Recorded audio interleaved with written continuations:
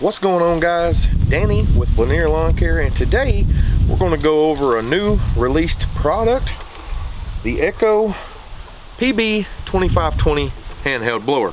So we're going to give you some specs of this, let you see this thing work in action and uh, I've had this for, for a little while now.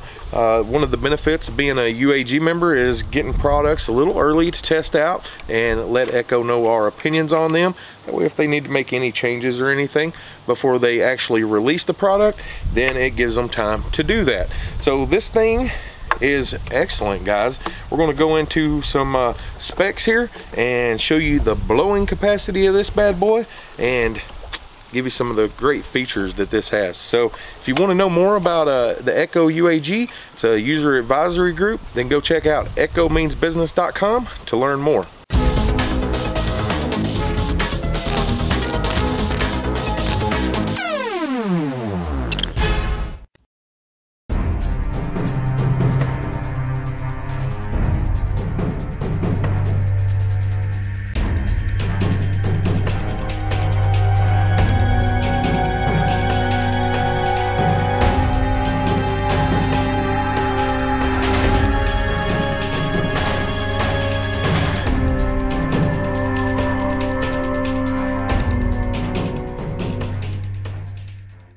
Right guys, so this is gonna be a cold start this morning.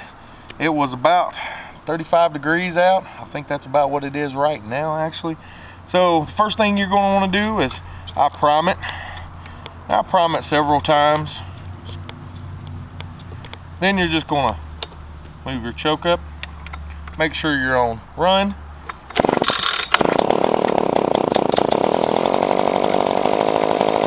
Now we're just gonna let it warm up for a minute or so. All right, guys, let's blow some leaves with this thing.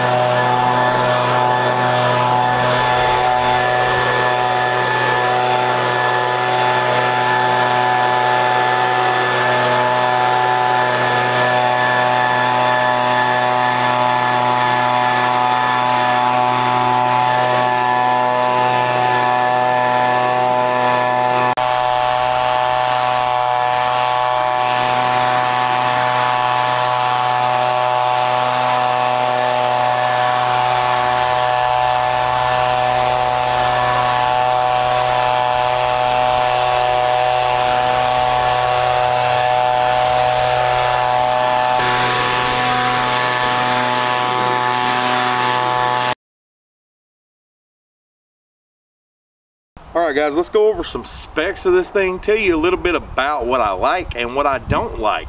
So I really do like that it has a, what I consider a cruise control.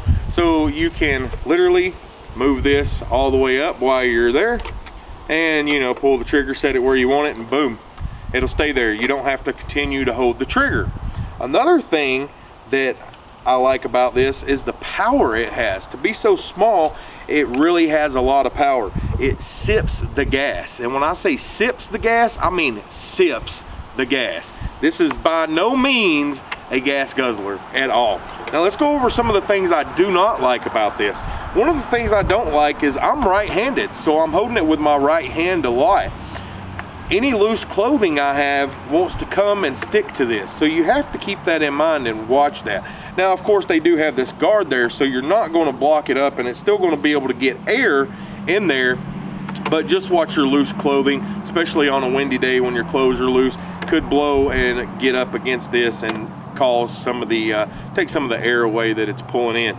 Another thing that I really don't like about it is when you start it up, you really have to let it warm up for a couple of minutes. And when I say a couple of minutes, I mean a minute to two minutes before you're really going to get this to kick into the high RPM range to where it's putting out all of its max power that it's going to be doing.